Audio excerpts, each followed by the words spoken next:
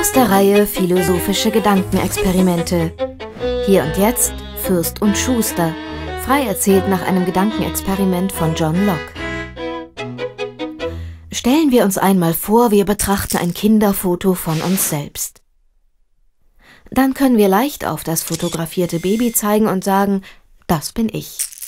Und wir nehmen auch an, dass es eines Tages eine alte Person geben wird, die beim Betrachten desselben Bildes sagen kann, das bin ich. Doch was genau ist der Grund dafür, dass das Baby, ich in diesem Moment und der alte Mensch ein und dieselbe Person sind? Um herauszufinden, worauf unsere Identität als Person basiert, können wir uns überlegen, welche Veränderungen eine Person überleben könnte und welche nicht. Der Philosoph John Locke stellt sich dazu vor, dass ein Fürst und ein Schuster über Nacht ihre Seelen tauschen. Wer ist danach der Schuster? Und wer der Fürst?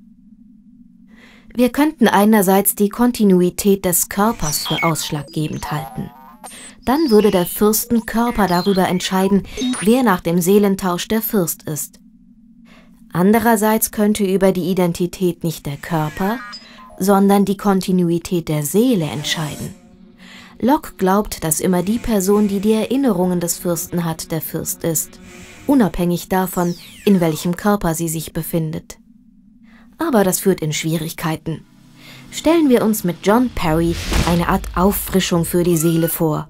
Dabei wird das Gehirn entnommen, Neuron für Neuron nachgebaut, vielleicht mit einem 3D-Drucker und anschließend wieder eingesetzt. Das Verfahren gilt als völlig sicher und erfrischend für das Gehirn. Eines Tages geschieht jedoch einem Reinigungsmitarbeiter ein Missgeschick. Bei der Entnahme fällt das Gehirn von Frau Fürst zu Boden und zerplatzt.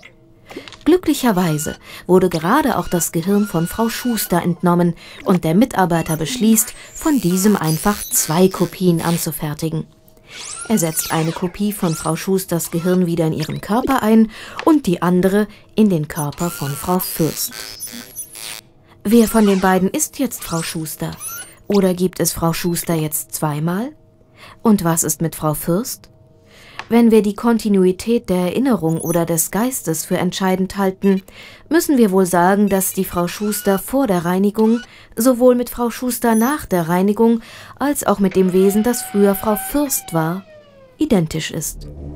Wie merkwürdig diese Annahme ist, können wir uns mit Derek Parfits Gedankenexperiment der Teletransportiermaschine klarmachen, mit deren Hilfe eine Person beispielsweise zum Mars reisen kann. Die Maschine transportiert allerdings nicht den Körper, sondern macht einen Scan, den sie per Funk an einen zweiten Apparat auf dem Mars übermittelt. Dort wird die Marsreisende Molekül für Molekül aus Marsmaterie nachgebaut.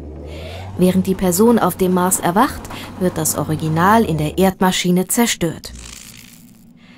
Denken wir, dass das eine Möglichkeit zu reisen ist? Käme also die Reisende selbst auf dem Mars an? Würden wir das auch annehmen, wenn die Reisende in der Erdmaschine aufgrund einer technischen Störung nicht zerstört wird? Oder stellen wir uns vor, dass die Marsmaschine aufgrund eines Defekts tausend Kopien anfertigt. Gäbe es die Person dann tausend und einmal? Parfit findet das nicht so schlimm. Er meint, dass man personale Identität ohnehin nicht so wichtig nehmen sollte. Aber ist nicht doch der Körper entscheidend? Und unsere Reisende ist einfach die ganze Zeit auf der Erde geblieben?